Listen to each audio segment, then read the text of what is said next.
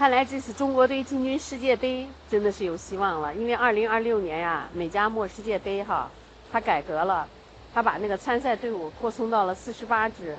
比以往呀足足多出了十六支呢。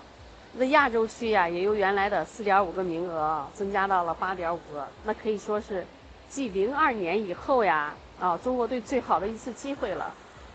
其实呀，只要中国队正常发挥哦，晋级希望啊，这次还真的是很大。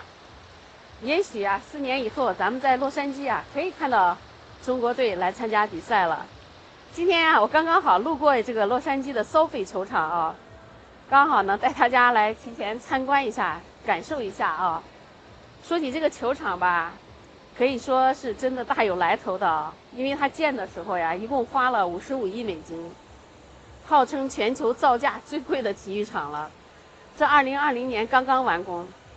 哎，承接的都是一些顶级赛事，除了举办刚刚结束的这个美国这个超级碗赛事以外，哈，未来呀还要承办2020年的奥运会呢。整个球场呀，最多可以容纳十万人，是美国最大的体育场之一。如果未来中国队可以在这里参加比赛啊，这十万人的场地估计呀都坐不下。毕竟中国的球迷们都等了有二十年了。啊，真心希望中国队啊能抓住这一次机会啊，圆了球迷的梦，也让咱们在美国的华人呀有机会啊，为自己的队球队加油呐喊一次吧。